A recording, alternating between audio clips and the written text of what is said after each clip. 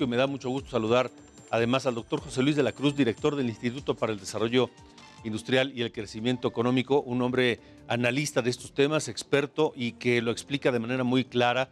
Eh, José Luis, gracias, doctor. Buenas noches, gracias por estar aquí. Eh, Alejandro, muy buenas noches, gracias por la invitación. ¿De qué va a servir el aumento a los mínimos ante esta inflación y aumento de, de, de precios que estamos viendo? Gasolinas, gas, electricidad, canasta básica, etcétera. Mira, yo creo que si eh, planteamos que eh, independientemente de que es positivo que se busque una recuperación de los salarios mínimos, eh, aquí habría que plantear dos elementos. El primero es que esto tiene que ser sostenible, es decir, después de varios años de aumentos en los salarios mínimos de, de, forma significativa, lo que tiene que garantizarse es que las empresas, sobre todo los micronegocios y pequeñas empresas, que son las que pagan el salario mínimo en realidad, estén en capacidad de hacerlo sin tener problemas eh, financieros. Y eso es algo que va a tener que comenzarse a contemplar, sobre todo después del cierre de 400 mil empresas el año pasado, producto de eh, la pandemia de COVID-19.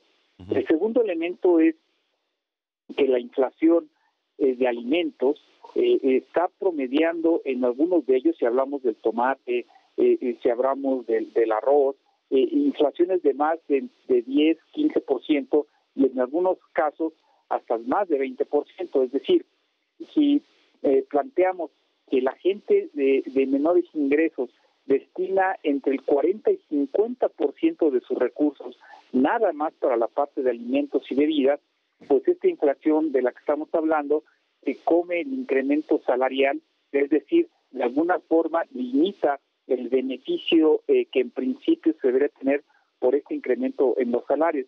Y entonces, en ese sentido, pues es evidente de que si bien hay un esfuerzo por tratar de restablecer el poder adquisitivo de los salarios, cuando se observa en qué gastan la mayor proporción de los mismos las familias mexicanas de menores ingresos, que son alimentos y es donde más inflación hay, pues es ahí en donde pues de alguna forma se limita el alcance de este, de este incremento. O sea que este incremento, digamos, eh, se sentirá poco o pasará desapercibido.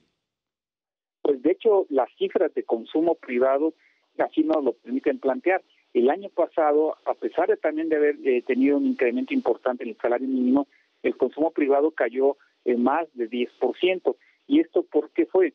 Porque en realidad eh, la pérdida de empleo, la precarización del mercado laboral, eh, no hay que olvidar, eh, estos aumentos en salarios mínimos a los que se refería la secretaria, se tiene garantía de que se pagan en el mercado formal laboral, pero en la informalidad no hay garantía de que se cumpla con este eh, aumento, con esta prestación. Entonces, en ese sentido, eh, si recordamos que más del 56% de la población ocupada está en la informalidad, pues evidentemente hay un margen en donde existe pues cierta eh, incertidumbre de que realmente este beneficio llegue. De acuerdo. Doctor José Luis de la Cruz, siempre es un gusto escucharte. Te mando un fuerte abrazo y espero que, que todo esté muy bien. Muchas gracias por la invitación, Alejandro. Buenas gracias. Noches. Buenas noches, el doctor José Luis de la Cruz.